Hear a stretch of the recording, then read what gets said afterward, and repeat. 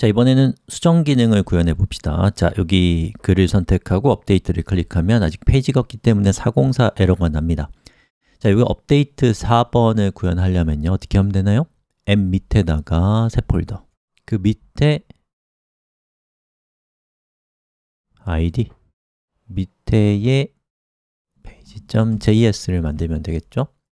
자, export default function update 자, 그리고 return하고 update 이렇게 하면 업데이트 페이지가 일단 잘 나오죠. 자, 그런데 이제 업데이트 우리가 구현할 때는요 업데이트는 크게 두 가지 기능의 합성입니다. 첫 번째는 어, create 두 번째는 read. 이 두 가지가 다 필요해요. 자, 저는 기본적인 UI는 create를 가져오는 게 더 편하기 때문에 create를 가져와 보겠습니다. 자, 여기 create를 클릭하면 page.js가 있고 여기 있는 내용을 그대로 카피해서 업데이트에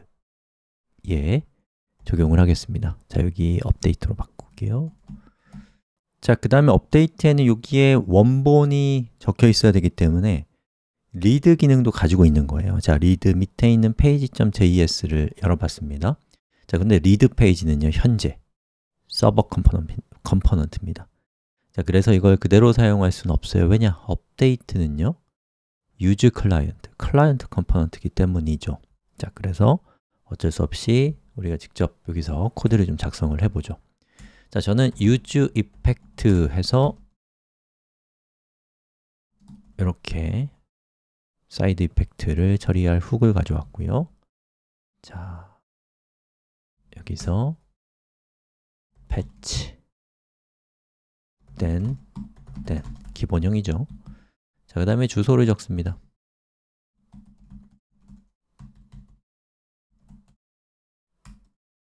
자, then은 response. json 또 then은 이렇게 해서 기본 값을 가지고 왔어요. 잘 가져왔는지 확인해 볼까요?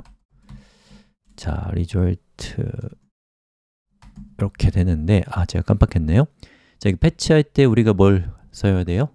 예, 현재 id 값이 필요하거든요. 근데 id 값을 가져오기 위해서는 const params use params 이렇게 해서 params 를 가지고 와야 됩니다. 자, 그렇게 해서 가져온 이 id 값에 저는 id는 params id 이렇게 했고요. 여기는 id를 요 뒤에다가 이렇게 붙여줬어요. 자, 그리고 터미널을 열고요. 그 다음에 reload를 해보면 자, 여기 보시는 것처럼 id 4번에 해당되는 글을 잘 가져왔습니다. 자, 그럼 이 글을 우리가 여기 있는 요 타이틀과 body, 폼에다가 넣기 위해서는 스테이트를 만들어 줄 필요가 있죠. 자, 그래서 저는 여기다가 const title, set title 은 use state 그리고 body, use body랑 set body를 이렇게 해줬습니다. 자, 에러가 뜨네요. 어, use state가 아직 없대요. 자, 그래서 import도 해줬습니다. 자, 그 다음에 여기 있는 이 타이틀과 body의 값을 서버에서 가져온 값으로 세팅할 거기 때문에 set title은 result title이고요. set body는 result body가 되겠죠. 자, 그 다음에 이렇게 세팅된 타이틀과 body를 이제 여기 있는 이 타이틀의 value 값으로 주고요. 저 body의 value 값으로 body를 이렇게 줬습니다. 자, 그러면 값이 입력이 됐죠. 자, 하지만 값이 바뀌지 않습니다. 왜냐? 여기 있는 value 값이 바뀌지 않았기 때문에 React의 철학이죠.